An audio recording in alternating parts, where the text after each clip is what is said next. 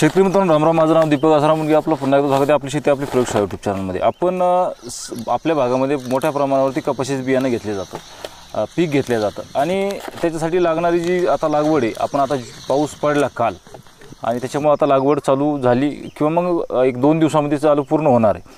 तर आज जो व्हिडिओ बनवायचा आहे आपल्याला तर त्याच्यामध्ये आपण असं पाहतो बियाणं लावताना बियाणं लावल्यानंतर एक तीन चार पाच दिवस जेव्हा उगतं ते बियाणं आणि त्याच्यानंतर लगेच त्याच्यावर मावा किंवा मग अ, रसोशी किडाचा आपल्याला लगेच दिसतं आणि आपल्याला फवारणी मारायला चालू करावं लागतं.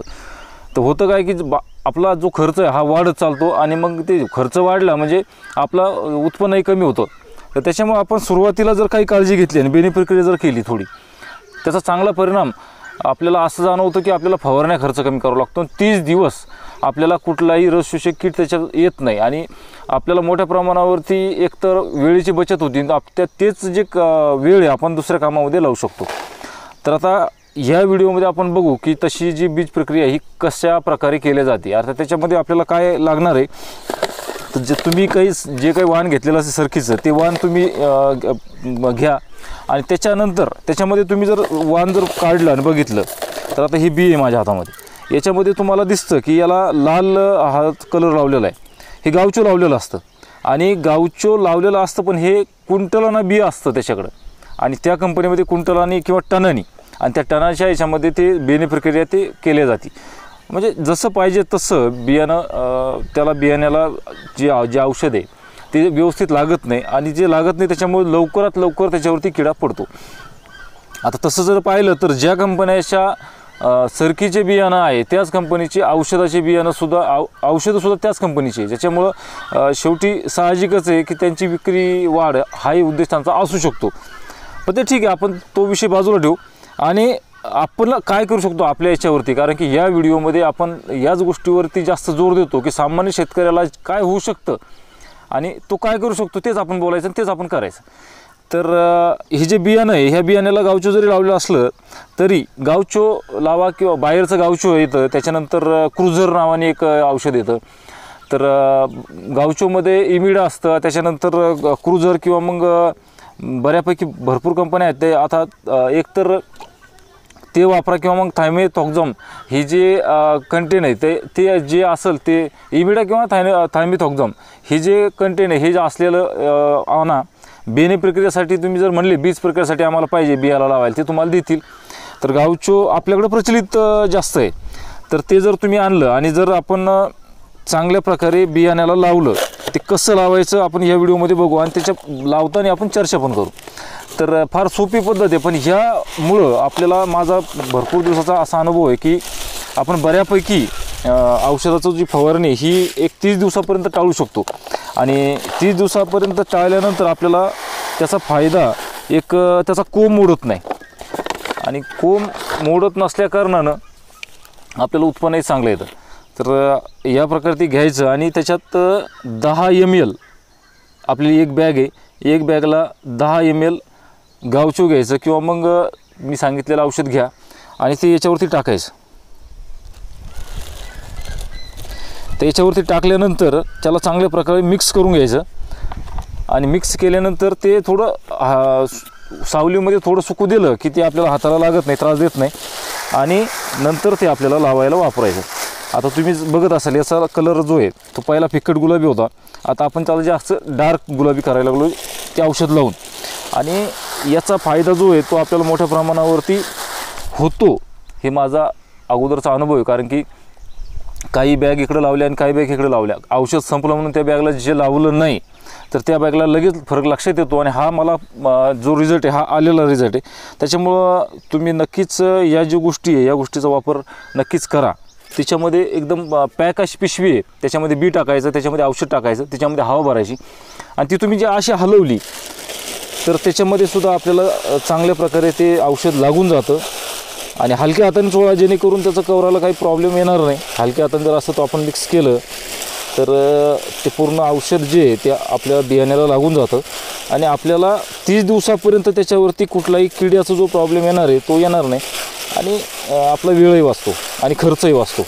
आणि कोंब चांगला असल्याने उत्पन्नही चांगलं येतं तर या पद्धतीमध्ये आपण आपल्या बियाण्याला हे औषध लावलं दहा एम एल आता दहा एम एल लावलं तर ते तुम्हाला पुढेही दिसत नाही पण हे याला लागले गेलं आणि गडद असा कलर त्याचा तयार झाला.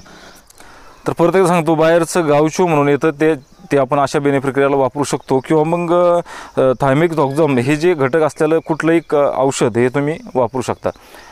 तर चांगली बेनिप्रक्रिया जर केली आपण आणि लागवड केली तर कमी चांगला आपल्याला अनुभव येतो. आता या सरकीच्या रानामध्ये आपण एक नवीन प्रयोग केलेला आहे. हा याचा व्हिडिओ आपण असेच व्हिडिओ आपण मागच्या वर्षीचे जे की सरकीची छाटणी असेल किंवा मग सरकीचा शेंडा खोडायचा असेल आणि सरकीचे पानं काढायचे असतील. हे शक्यतो तुम्हाला कुठं कोणी करत नाही. पण ते आपण केलेले प्रयोग जे आणि ते सक्सेस झालेले आहे. कोणी हिरव्या झाडाचा आणि पाते असलेला फोटो आपण प- फेसबुकला किंवा व्हॉट्सअपला पोस्ट करताना बघतो पण नख्याचा कोणी फोटो पोस्ट करत नाही. किंवा मग नख्या वेसल्यानंतर किंवा अर्धवट नख्या असताना तुम्हाला कोणी व्हिडिओ दाखवणार नाही. आपल्या यूट्यूब चॅनलवर तुम्ही जाऊन बघा. मागच्या वर्षी तसा व्हिडिओसुद्धा टाकलेला आहे. छाटणी कशी करायची पासून तर परत शेवटपर्यंत आपण त्या व्हिडिओमध्ये कापसाची पूर्ण काही वाढ दाखवली होती आणि कैऱ्या पण दाखवल्या होत्या. आणि छाटणी केल्यानंतर काय फरक पडतो ते दाखवलं होतं. तर नक्कीच तो व्हिडिओ जाऊन बघा. आणि ह्या वर्षीसुद्धा नवीन प्रयोग म्हणजे आपण प मध्ये पाच फुटाचं साडेपाच फुटाचं अंतर ठेवलेलं आहे आणि जो जोडवळ केलेली आहे तर त्याच्यामध्ये दीड फूट अंतर ठेवलेलं आहे. तर ही जोडवळ याच्यामध्ये सुद्धा आपण छाटणी करणार आहे शेंडा लवकरच फुडणार आहे. आणि आपले काही अंडे ताक असेल किंवा मग आपण जे जे व्हिडिओ टाकलेले आहे तुम्हाला जे दाखवतो आहे आपण ते सगळं याच्यामध्ये वापरणार आहे. कमीत कमी खर्च लावून फवारणी खर्च कमी करून आणि सगळा एकंदरीत होणारा खर्च कमी करून आपल्याला कसं उत्पन्न वाढवता येईल यासाठी आपण नेमकी आपणही करतो आणि शेतकऱ्याला या यूट्यूबच्या माध्यमातून सांगण्याचा प्रयत्न करतो. तर तुम्ही जर नवीन असाल तर चॅनल सबस्क्राईब नावाचा खाली बटन आहे त्याला क्लिक करून घंटा येईल घंटा दाबा. ऑल नोटिफिकेशन चालू करा जेणेकरून असे सगळे व्हिडिओ तुम्हाला बघायला मिळतील. तर याच्या ह्या प्लॉटचे आपण सगळे व्हिडिओ या यूट्यूब चॅनलवरती टाकणार आहे. का की क शेंडा कधी खोडायचा त्याच्यानंतर छाटणी कशी करायची आहे पानं जे आपण जून झालेली पानं काढतो ती कशी करायची? या पद्धतीनं आपण उत्पन्न फार काही जास्त खर्च लागत नाही आणि मजुरी जास्त लागत नाही. फार सोपं आहे फक्त आपल्याला नवीन आहे. तर या पद्धतीनं आपण पंचवीस ॲव्हरेज एकरी काढलेलं आहे. ज्या लोकांचा टार्गेट पंचवीसपेक्षा शिल्लक आहे किंवा मग जे काढतात त्यांनी ठीक आहे त्यांनी या गोष्टीचा किंवा मग या व्हिडिओचा संदर्भ घेऊ नये. पण आपल्या एकंदरीत आपल्याकडं सामान्य शेतकऱ्याचं उत्पन्न हे पाच सात क्विंटलच्या वरती जास्त नाही आहे एका गावामध्ये दहाच्या वरती काढणारा माणसं हे जास्तीत जास्त एक पाच दहा वीस शेतकरी असतील. पण बाकीचा जो पेरा आहे हा सगळा कापूस एक पाच सात क्विंटल काढणाराच असतो. आणि दहा क्विंटल या पद्धतीनं दहा क्विंटल मी तर पंचवीस तुम्हाला सांगितलेलं आहे की मी काढलेलं आहे. पण कमीत कमी आपण दहा क्विंटलचं आरामात कमी खर्चामध्ये दहा क्विंटल आरामात कापूस होतो. आणि जर कमी आपण जी पद्धत वापरतो त्या पद्धतीमध्ये जर तसा कापूस जर झाला तर मग कापूस पुरतो.